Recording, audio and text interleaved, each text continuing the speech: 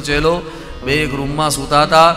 એમાં ગુરુએ આજ્ઞા કરી કે, બેટા જોતો જરા બાર બાર વરસાદ છે કે શું? મને શંકા પડે છે. તો ચેલો સૂતો સૂતો ઊભો ન થયો. બોલો. અરે બેટા, તને કહું છું, જરા જોઈ લે તો, બાર વરસાદ છે કે બોલે? અત્યારે બિલાડી બહારથી આવી, મેં હાથ ફેરવ્યો, બિલકુલ કોરી છે. સુઈ જાઓ છાના મના લે. સુઈ જાઓ. બસ, લે. ગુરુને. ગુરુએ વિચાર કર્યો, ક્યાંથી ભટકાયો છે આ? બીજી આજ્ઞા કરી કે, બેટા, એક કામ કર, ચાલ. લાઈટ તો બંધ કર દે, તો આપણે સૂઈ જઈએ. ચેલો બોલ્યો, તમારે અંધારું જ કરવું છે ને, આંખ બંધ કરી દો ને, અંધારું થઈ જશે. લે, ત્રીજી આજ્ઞા કરી કે બેટા, હવે કાંઈ નહીં, દરવાજો તો બંધ કર દે, તો આપણે સૂઈ જઈએ. ત્યારે ચેલો બોલ્યો, બે કામ તો મેં કર્યા, હવે એક તો તમે કરો. ઊભો નો દ્યો સાહેબ. અને ચીપિયો ચેલા પાસે?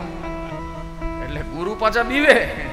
કે વળી આ આ ઉંમરમાં જો ગોઠણ ભાંગી નાખ્યો, તો જોડા જોડાતા વાર લાગશે. એટલે જેમ કે એમ કરો. હા, તમે જુઓ સાહેબ આવા ગુરુ ચેલાની વાત. હા, આવા આ નહીં. લોભી ગુરુ, લાલચુ ચેલા દોનો કા નરક મે ધક્કમ. આ નહીં. ક્યાંક ક્યાંક ચેલા માથા ના હોય ક્યાંક ક્યાંક ગુરુ માથા ના હોય. ગુરુ ને શિષ્ય બે બેઠા હતા, એમાં ગુરુએ ચેલાને પૂછ્યું કે, બેટા, હું પલંગ પર બેસું તો તું ક્યાં બેસે? એટલે ચેલાએ તરત કીધું કે બાપજી, તમે જો પલંગ પર બેઠા હો ને, તો તમારી સમકક્ષ મારથી બેસાય જ નહીં. એટલે હું આસન આસન નાખી અને ત્યાં જમીન પર બેસું. બહુ વિવેકીઓ ચેલો બહુ વિવેક. બોલે, ત્યારે એમ લાગે કે આપણને મોતી જરે એટલે ગુરુએ બીજો પ્રશ્ન પૂછ્યો કે, બાબા બેટા, ઈ આસન પર હું બેસું તો તું ક્યાં બેસે?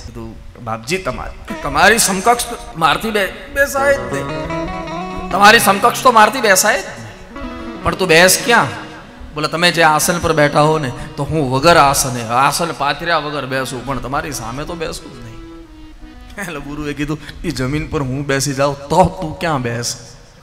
હવે પરીક્ષાની હદ થઈ ગઈ, સાહેબ.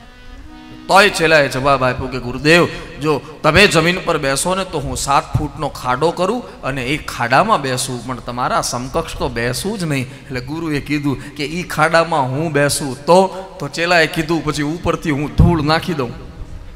પછી, આમ મારે ક્યાં સુધી જવું?